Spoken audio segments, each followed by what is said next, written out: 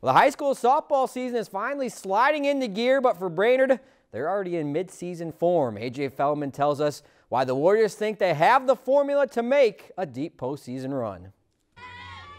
The Warriors are off to a 5-0 start this season, and while the offense has been hot, scoring 55 runs over that span, it'll be the defense that takes Brainerd to the next level. I have no doubt that we can hit the ball and run the bases and score runs.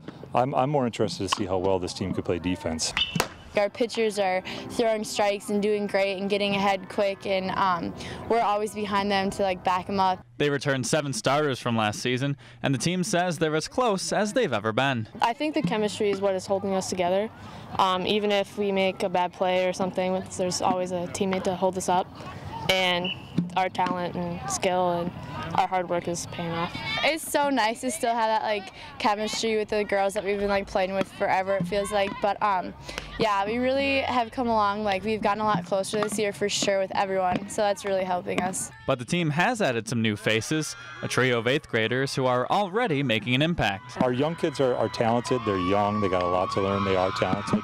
Uh, it just really makes us a, a, whole, though. So we have experience. We have uh, good senior leadership. Our junior class is really good. Um, but then you bring in those eighth graders, and, and it's fun to have young kids that are, are talented as well. I know they were a little bit nervous at first, but they definitely showed what they could do.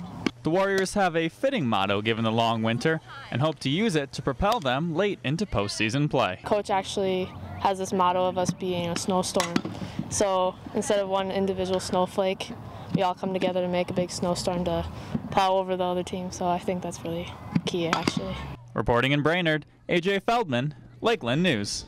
Thanks to AJ Warriors are back in action tomorrow on the road. They'll travel to take on Alexandria at 5.